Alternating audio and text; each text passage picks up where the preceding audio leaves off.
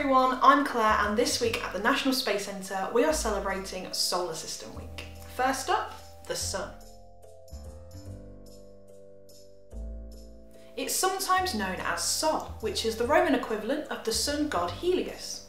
It's a yellow dwarf star and at over 4.5 billion years old, in star years it's middle-aged.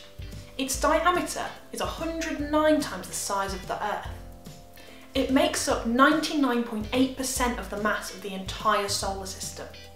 It has seven layers and the one that we can see is called the photosphere.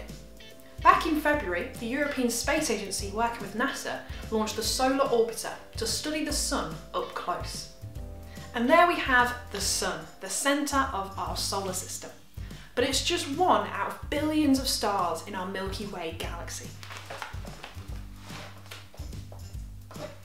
Now join me for the rest of the week as we celebrate the solar system. Next up, Mercury.